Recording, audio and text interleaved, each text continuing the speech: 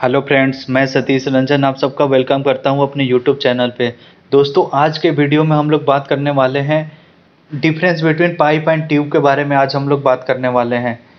जिसके बारे में हम लोग समझेंगे, मैंने कैटेगरी वाइज समझा रखी है कि इस कैटेगरी में पाइप किस तरीके से होता है और ट्यूब किस तरीके से होता है। तो वीडियो को एंड तक देखना दोस्तों आप लोग, और जो लोग हमारे चैनल पर नए हैं, वो प्लीज़ चैनल को सब्सक्राइब कर लें और बेल आइकन को प्रेस कर लें ताकि आगे आने वाली वीडियो का नोटिफिकेशन उनको मिलता रहे। तो चलिए वीडियो को स्टार्ट करते हैं और देखते हैं। Like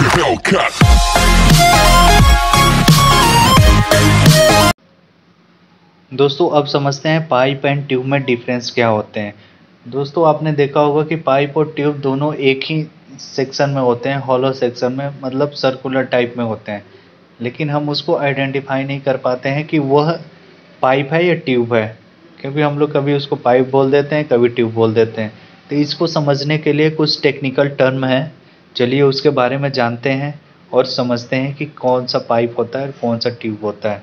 पाइप और ट्यूब के डिफरेंस को समझते हैं कैटेगरी वाइज जो पहला कैटेगरी है, वो सेप के अनुसार है, जिसमें pipe can be circular only pipe हमेशा सर्कुलर ही आपका होगा। राउंड शेप में होगा। जबकि ट्यूब, सर्कुलर, स्क्वायर और रेक्टेंगुलर और ईटीसी किसी भी शेप में हो सकता है ये।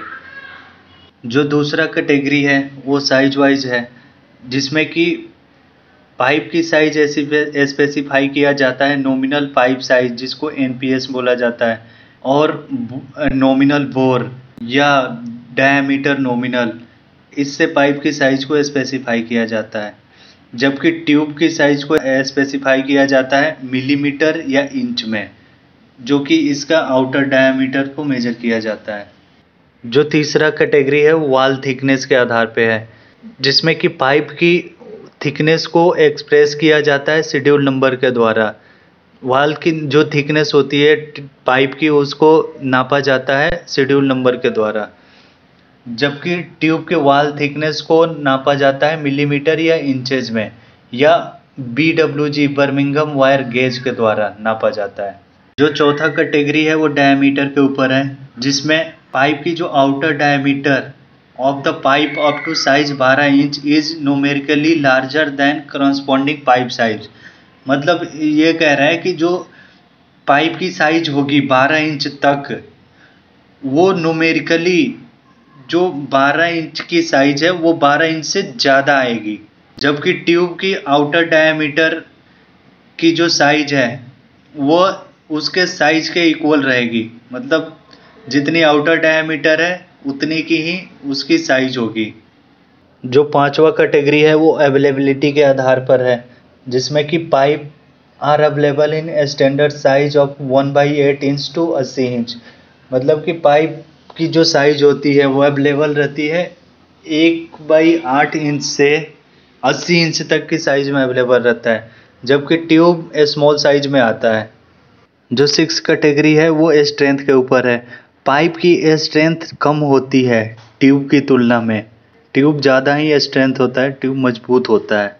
जो सेवेंथ कैटेगरी है, वो मेटल मेटल टाइप के ऊपर है, जिसमें कि pipe black steel hot roll के तरह होता है। हॉट रोल्ड किया जाता है इसको, जबकि ट्यूब अवेलेबल होता है। Hot rolled sheet and cold rolled sheet दोनों दोनों सीट में अवेलेबल होता है, जबकि पाइप हॉट रोल्ड सीट में अवेलेबल होता है। जो आठवां कैटेगरी है, वो अप्लीकेशन के ऊपर है, जिसमें कि pipe, pipes are pressure rated and intended to use for the transference of fluid and gas मतलब कि जो जहाँ पर गैस और फ्लूड का फ्लो किया जाता है मतलब उसको ले जाया जाता है एक जगह से दूसरे जगह पे, वहाँ पर पाइप का यूज़ किया जाता है, जबकि ट्यूब का यूज़ स्ट्रक्चरल अप्लीकेशन के लिए किया जाता है। दोस्तों, आज के वीडियो में बस इतना ही। मैंने आप लोगों को समझाने की कोशिश की है कौन सा पाइप होता है, कौन सा ट्यूब जिससे आप लोगों को हेल्प मिली होगी। दोस्तों, अगर आपको वीडियो अच्छी लगी हो तो मेरे चैनल को सब्सक्राइब करें वीडियो को लाइक करें और शेयर करें, ताकि मुझे मोटिवेशन मिलता रहे। Thank you